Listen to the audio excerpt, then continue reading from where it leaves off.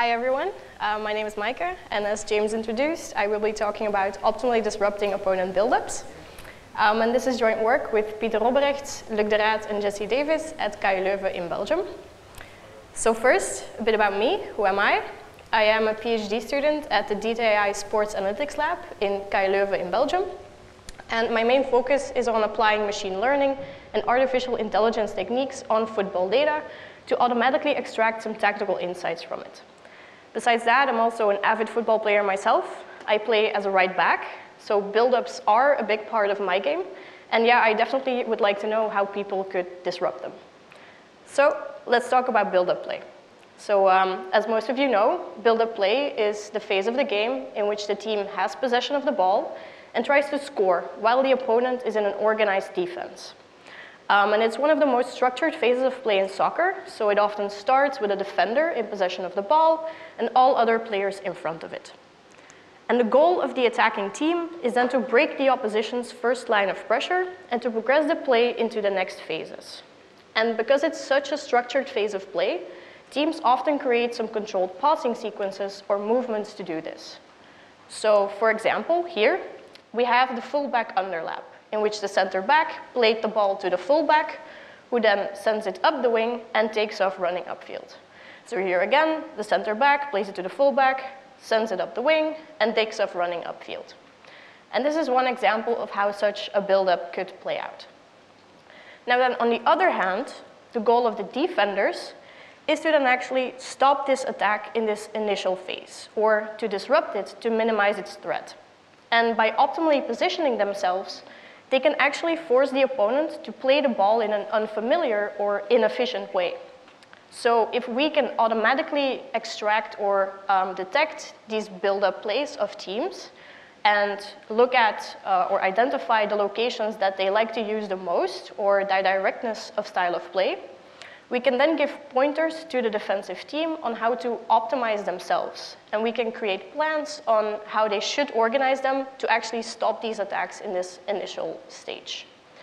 So if we take the fullback underlap again, we can actually take this red defender here and push him into this gap.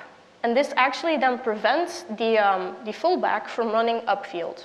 So then the attacking team is actually forced to play the ball backwards again.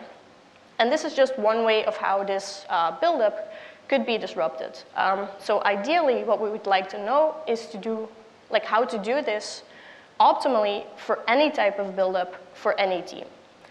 So, like I said, if we could automatically identify these buildup patterns of teams, this could already help us. It could help us to support these tactical analyses and help us to formulate plans to stop the opponent's attacks in this initial stage. So here we've identified the most likely sequence that Barcelona used during their last season, and it's just going straight through the center. So we could devise some defensive strategy against this and employ it.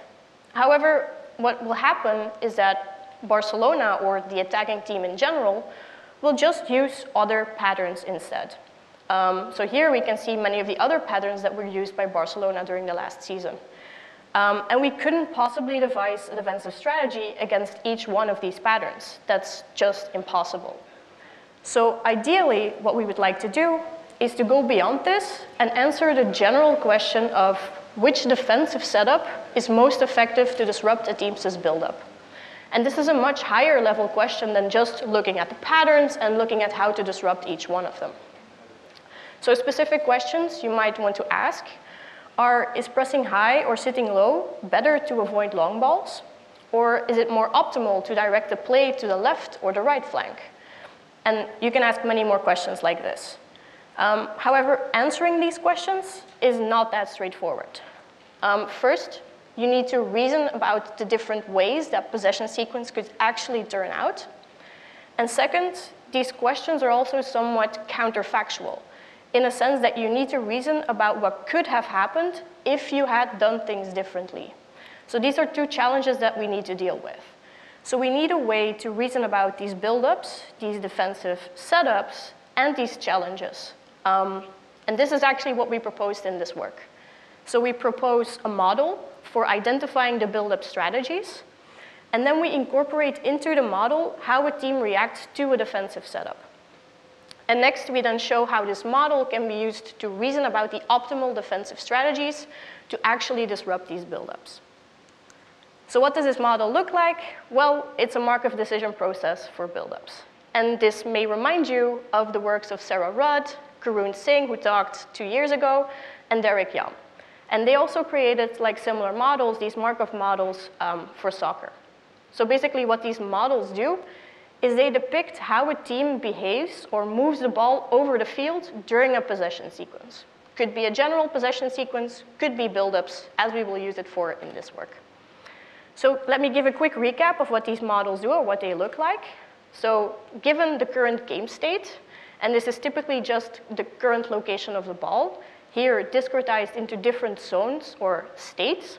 So given this current game state or current location of the ball, they allow a team to make certain actions. So typically we have a general move action that moves the ball to any of the other states and a shoot action, so shooting on goal. Then the policy of the model actually determines the probability of you choosing each of these actions. So for example, 97% choosing the move action in a certain state and 3% choosing the uh, shoot action in a certain state. Then the transition function actually determines the probability of that chosen action being successful. And all these probabilities can be readily extracted from the data itself. So for example, from event stream data. And then finally, a Markov model also allows to specify rewards for transitions. So here in soccer terms, that just means that we get a reward of one when we score a goal. And this whole thing then just depicts how a team behaves over the field during a possession sequence. What we did in earlier work this year at Sloan is that we changed this general move action to a move to action. Um, so here we include the intended end location of a certain pass into the model. And what this allowed us to do was to actually analyze the decision making of teams.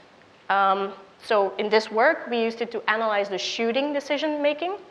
But in this work, it can also be used to analyze the buildups.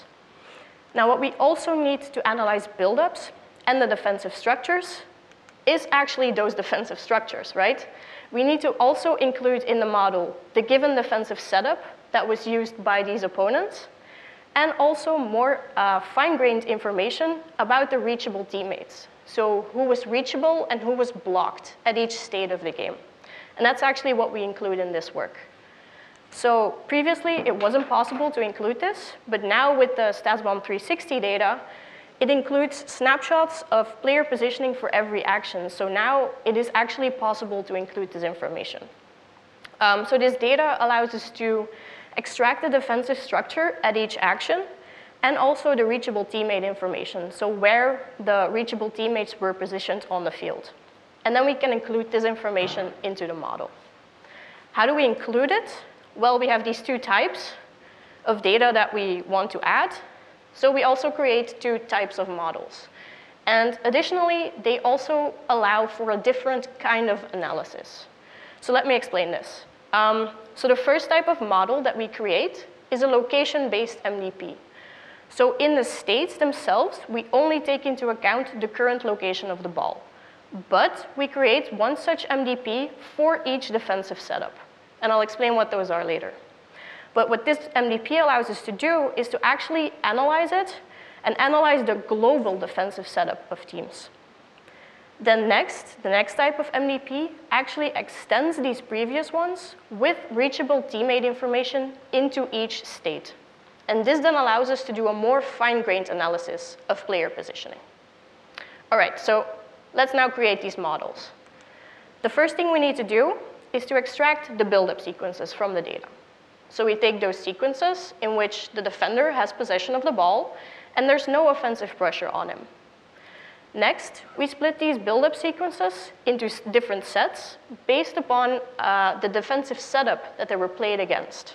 And this could be derived from the StatsBomb 360 data. So we have four defensive setups that we looked at, um, here depicted in these two figures. So in the left figure, you can see a high block. Um, and this is depicted by the red dots. Those are the defending players playing from right to left. So you can see that they're pretty high up the field, depicting a high block. then in the right figure, you can see that the red dots are a bit closer to their own goal, depicting a low block. And next, we also have a left forcing and a right forcing block. What we mean by this is in the left figure, you see a left forcing block because the blue attacking team is forced to their own left-hand side. Whereas in the right figure, you can see that they're forced to play the ball to their own right-hand side. So if we take the available StatsBomb 360 data for the Spanish uh, La Liga and the German Bundesliga for the top 10 teams, and we do all of this, we get about a 1,000 build-up sequences of varying lengths for each of these defensive setups. So once we have this data, we can actually construct these models. So the first thing we do is we construct one location-based MDP per defensive setup. The data are obviously these extracted build-up sequences, and the states in this one are just defined by their location on the pitch. And specifically, we use these 30 states here depicted in this figure. Um, and the rest of the Markov model is actually just created, as I explained earlier, with the move to action and shooting and extracting the probabilities from, from the data itself. Then the extended MDP actually includes the teammate reachability. So here, the states themselves are no longer just defined by their location on the pitch, but also by teammate reachability. So by four, binary addi four additional binary features per location-based state. Um, and what those four binary features tell us is that there is or is not a reachable player, for example, on your left-hand side, your right-hand side, in front of you, or behind you. Um, so these four colored patches that you see here on the slide. Um, and these patches are then also created relative to the ball carrier. So they differ for each action. How do we actually determine whether there is a player that is reachable or not? Well, we look at the teammates and we look at the proximity of opponents to those teammates.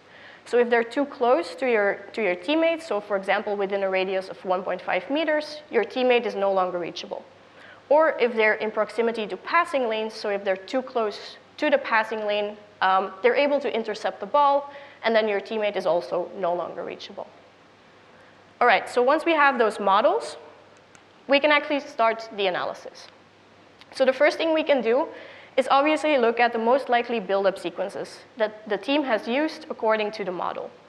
So um, here on top, we see for Barcelona, both under a high block and a low block, their most used sequences. And we see that they tend to go through the center first and then move to the sides, and preferably to the left side. If we then go back and look at the data, we actually see that this is often Piqué passing to Busquets, passing to Frenkie de Jong. And the same analysis can be made, for example, for Real Madrid um, at the bottom. There we see something different. We actually see that they prefer moving through the left side first. And you can create these analyses for any type of team. Um, and while they are already interesting, we would actually like to go beyond this and actually look at how to optimally disrupt their buildups instead of just looking at their, their sequences. So how do we do this?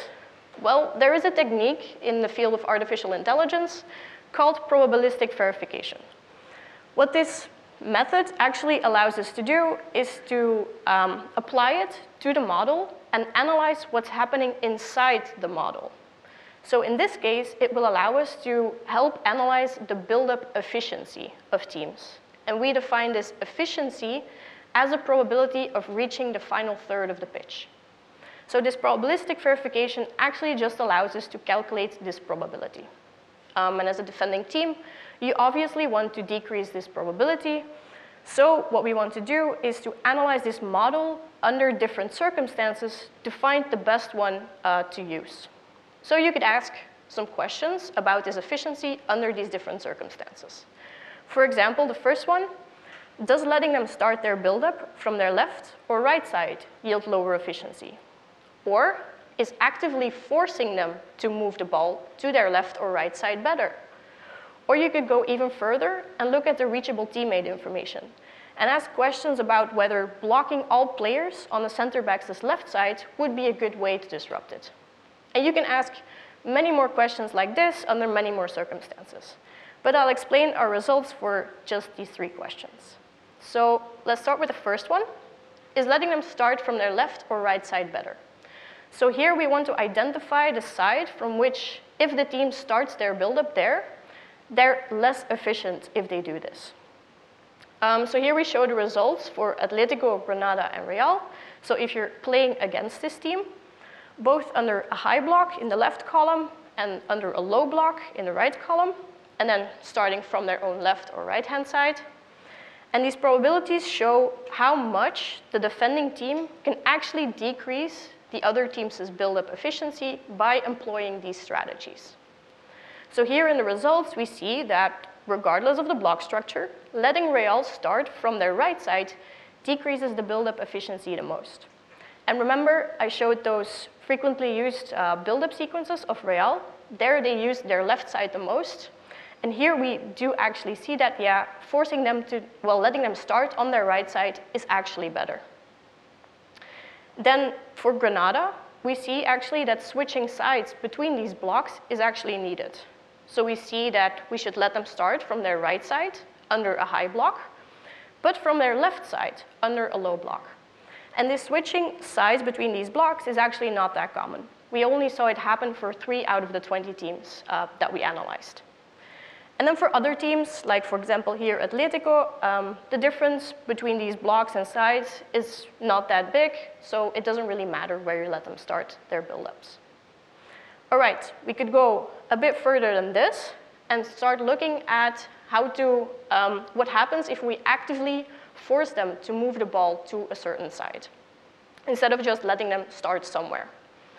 So here we see the results for the top three teams in the Spanish La Liga last season, Atletico, Barcelona, and Real, under this left and right forcing block that I explained earlier. Um, so here we see for Barcelona, there's actually no real difference in forcing them to either side. Um, but we do see, for example, again for Real, forcing them to their right side is a good idea. And here for Atletico, we do see a difference, um, and we see that forcing them to their left side is actually a good thing to do. Finally, we could zoom in a bit more than just these high-level defensive structures and actually look at the reachable teammate information that is available in these extended models. So this allows us to ask questions of like whether blocking all players on a center back's left or right side would be a better idea. So what do we mean by blocking players on a certain side? Well, if you block players on a center back's left side, this means in the left figure that we do not allow a reachable teammate in the patch with the red cross. And the same thing for blocking players on their right side in the right figure. So if we then look at the results, again for the top three in the Spanish La Liga last season, um, both under a high block and a low block, we see that it's generally best to block players on Barcelona's and Real's right side. Um, and here, for Atletico, we again do see a difference, and we see that it's best to block the players on their left side under a low block, but on their right side under a high block. So in summary, what these analyses allow us to do, or what these analyses can tell us, is for example for Barcelona, that they're most likely to go through the center, which we can get from the paths, that forcing them to either side actually won't make a big difference, but that blocking the players on the center back's right side and using a high block might. And you can create these analyses and summaries for any team, really. So to conclude, we proposed a model for identifying the build-up strategies and then incorporated into the model how the team reacts to a defensive setup. And this could be done by using the new added context in the StatsBomb 360 data. And then we showed how this model can be used to actually reason about the optimal defensive strategies to disrupt the team's buildups. Thanks.